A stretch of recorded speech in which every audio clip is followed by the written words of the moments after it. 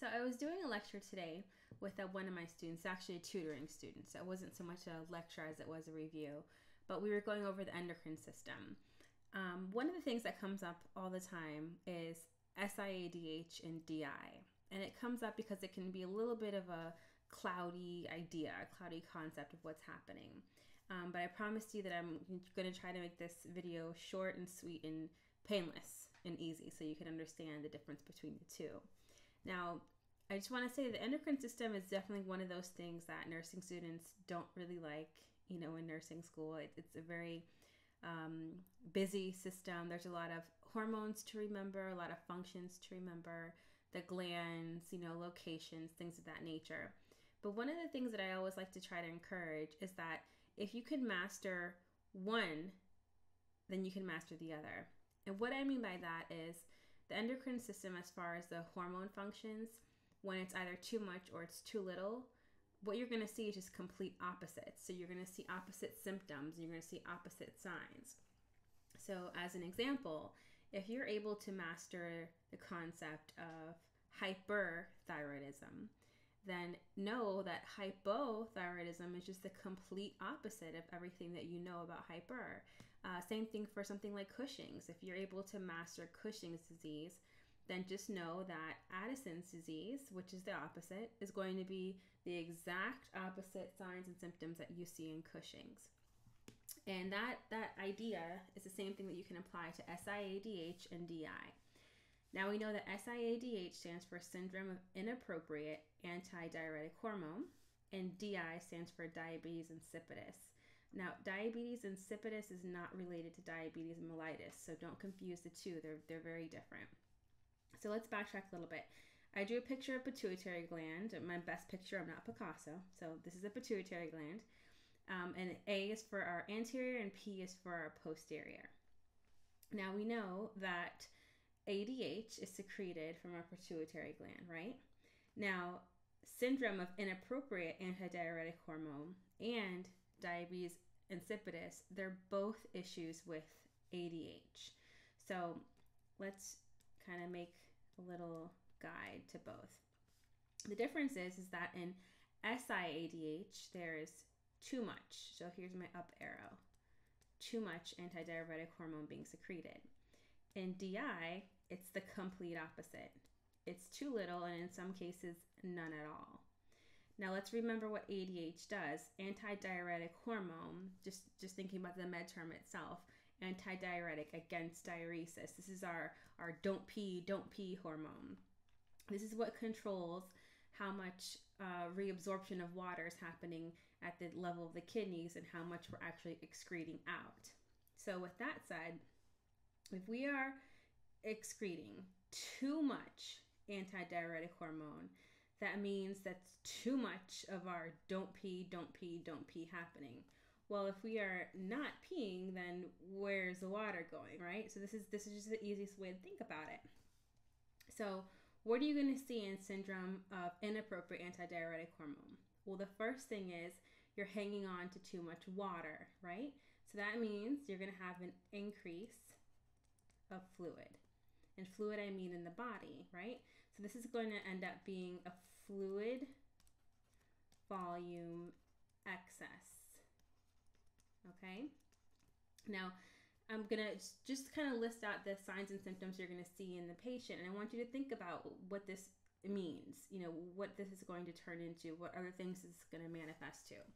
So you have too much fluid on board and syndrome of anti syndrome of inappropriate, excuse me, antidiuretic hormone, right?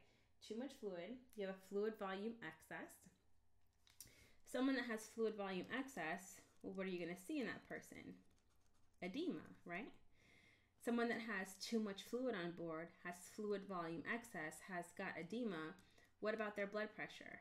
What are you going to notice in that? Increase, right? They're going to have high blood pressure in relation to the fact that they have a lot of fluid on board. Now, if we jump over here to DI for a second, because remember, this is the complete opposite. We have too little antidiuretic hormone being secreted, or in some cases, nothing at all. In that case, instead of the body hanging on to that, that fluid, and by fluid, I want to be clear, I mean water. We're not talking about solutes, we're just talking about the water, okay? Um, so if we have too much fluid in our syndrome of antidiuretic hormone, which by the way means that we have decreased urine output. Decrease or none at all because we've been hanging on to it. And DI, we're going to have decreased fluid because we have increase in urine output. And when I say increase, these clients or patients that are suffering from DI are dumping very large amounts of urine at one time. We're talking up to three liters. So that's a lot of fluid being lost, right? If here, SIADH, we had a fluid volume excess, well, then in DI, what do we have? We have the opposite. We have a fluid volume deficit. Okay, so and in this instance with SIADH, if we had edema, well, in this instance, this person's actually going to look dry, right? They're going to look dehydrated. You might even notice that they have sunken eyes. Okay, they're looking really dried out. Because they are dumping so much fluid out, because the urine output is increased, right? They're going to be thirsty. Constantly thirsty because they're losing all of this fluid. Now, these are just some of the common, you know, signs and symptoms that we're going to see in both of these cases. And let's go ahead and compare our BP while we're here. In this case, we had increased BP because there's a lot of fluid. Well, in this case, we're going to have decreased BP because we're losing so much of it. Now, what I want to get to, something that's really important in this case, is what happens to our sodium levels because the changes in sodium that we see in SIADH and DI is what's really critical. Now, in SIADH, we have low sodium, hyponatremia, okay? And DI, we have high sodium. And I think this is the part that gets a little bit tricky. And I'll tell you why this happens. Remember, this antidiuretic hormone that's being secreted, the reabsorption of the water, the too much dumping of the water, it's fluid alone, it's not solute. So this is the best way to explain it. This is how the best way I think to explain it anyway. So I'm going to draw a cup. So here's my cup. I got a cup here, and I'm going to put a cup over here so you can see the difference between the sodium levels. Now, in this cup, because I know I have SIADH, I'm going to fill my cup with water because that's a problem, right? SIADH, I have too much fluid. In this cup, I know that I keep dumping out my fluid, out my water. So I'm going to make my cup just have a little bit of water in it. Okay? And so now I'm going to throw in some sodium solutes in there. So here's some sodium in this one. And I'm going to draw some sodium in this one. Now, if we're looking at it, which one do you think has a higher concentration of sodium? And if you look clearly at it, you can see, well, obvious, right? We're looking at this. This has a higher concentration of sodium in it. The reason why is because the amount of water versus the amount of sodium solutes is very uneven.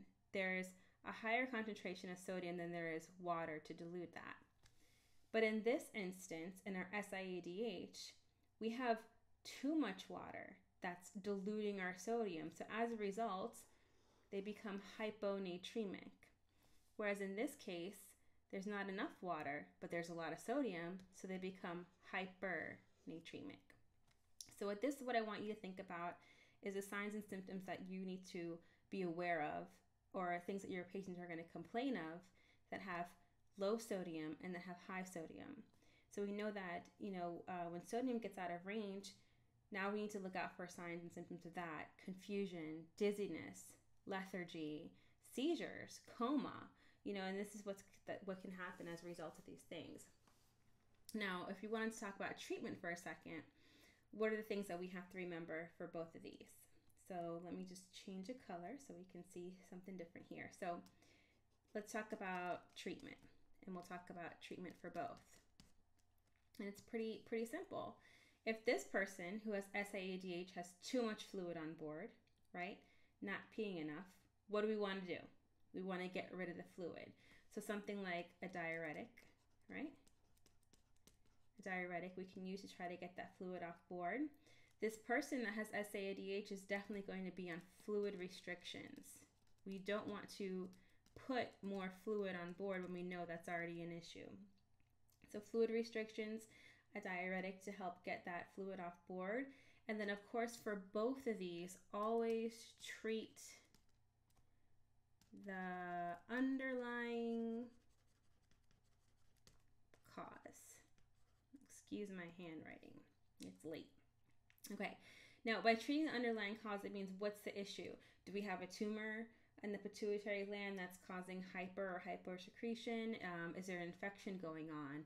Uh, did we take a drug that's causing it? So, whatever caused the issue in the first place, we always want to treat that. And then in DI, just a brief little overview on treatment of that. Think about the exact same thing that we talked about, the opposite. So, if I'm dumping too much fluid, right, because I'm having a great amount of urine output, then what if I gave a synthetic ADH? Because that, that would be the point, right? I want to give something to try to hang on to the fluid. So, we can give something like a DDAVP, for example, a synthetic ADH. That way we can hang on to that fluid. Um, this person that's losing so much fluid is not going to be on fluid restrictions, but more like fluid replacement because we want to keep them adequately hydrated. Okay? So, in a nutshell, this is SIADH versus DI. Remember, they're both issues of the antidiuretic hormone. One is secreting too much, which is this guy here, SIADH, and one is secreting too little or none at all, which is this guy here, DI. And so the symptoms are opposite, the signs are opposite.